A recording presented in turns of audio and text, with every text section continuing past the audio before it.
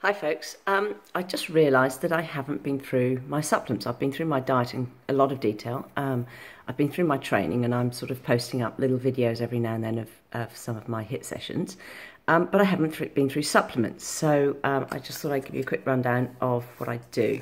Um, I don't like to take too many, but um, I do take the ones that I consider necessary. Now, at the moment, I'm taking this Cort RX, which is a cortisol, I guess, stress manager because um, you know I'm holding I'm holding um, my fat around my waist at the moment, which kind of indicates that my stress levels are way too high, and that's pretty obvious anyway, just because of the fact I'm doing too much as usual.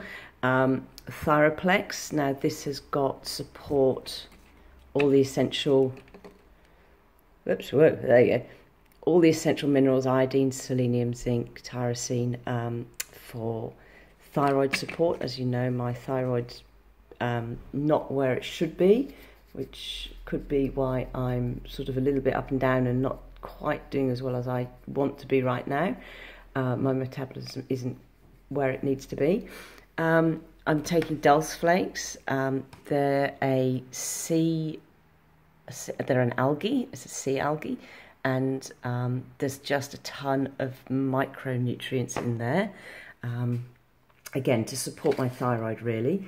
Um, what else have we got next up? We've got the vitamin D. Now, vitamin D is, um, is excellent stuff. It's you know, helps with about a thousand different metabolic functions, including depression, certainly aids weight loss, um, obviously stronger bones, um, it improves muscle function, um, it can protect against cardiovascular disease, you know, heart disease, and reduce the risk of type 2 diabetes and cancer. So, excellent stuff. Generally, you can get enough of it from the sun, but um, you know, with intense exercise, it can get depleted. So, um, can be worth supplementing. I only take whatever the recommended dose is on that one, so just a little bit of a top up there. Next up, we've got zinc. Um, again, super, super stuff, and it does get depleted by intense exercise. Great for your immune system, of course. It's an antioxidant, so it can help fighting things like cancer.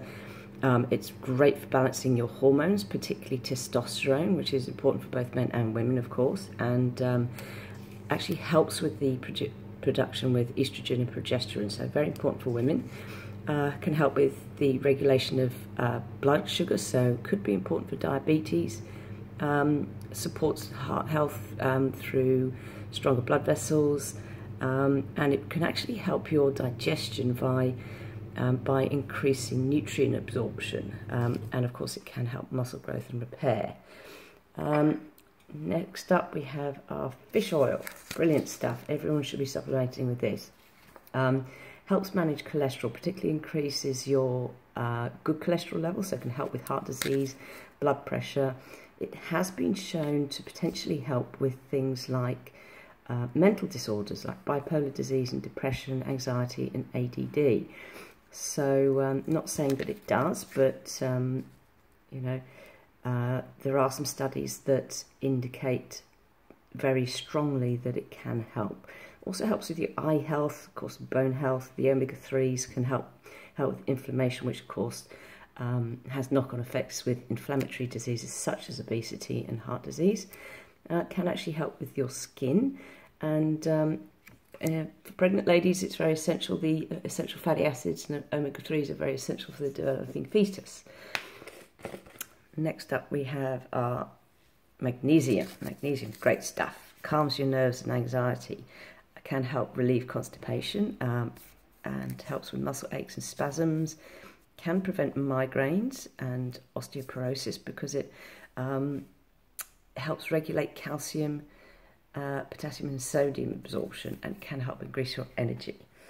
Now then, then we move on to our branch chains. Um, just, just really good all round. I always use branch chains. Um, at the moment, I have those in every in every drink of water that I have.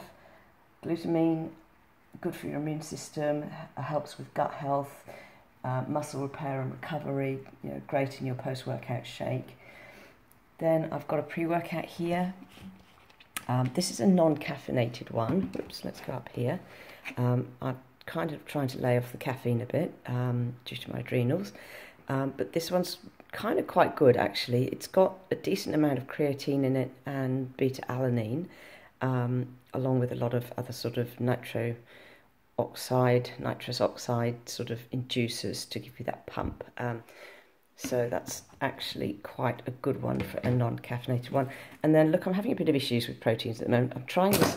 I'm trying this egg protein, egg white protein. Um, it kind of goes, turns everything frothy, which is a little bit weird. So um, fortunately, my trainer's making his rice, pea, and hemp protein again. So I'll be getting some of that next week.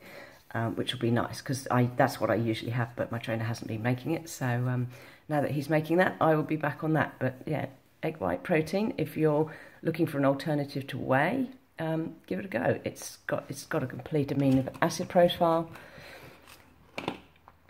Um, doesn't have any flavour. This one, which is why I, th I throw the branch chains in with it to give it a bit of flavour. But um, yeah, it's a perfectly good protein. Anyway, so that is my supplement stack.